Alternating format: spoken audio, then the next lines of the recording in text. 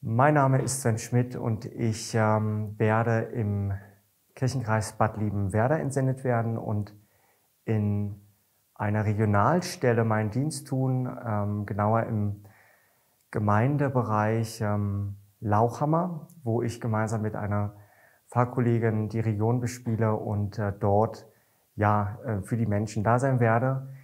Mir ist ganz wichtig, dass äh, die Gemeinde und die Kirche von heute ja offen nach außen tritt und ähm, die Themen und Fragen der Zeit wahrnimmt, ernst nimmt und sie aufnimmt.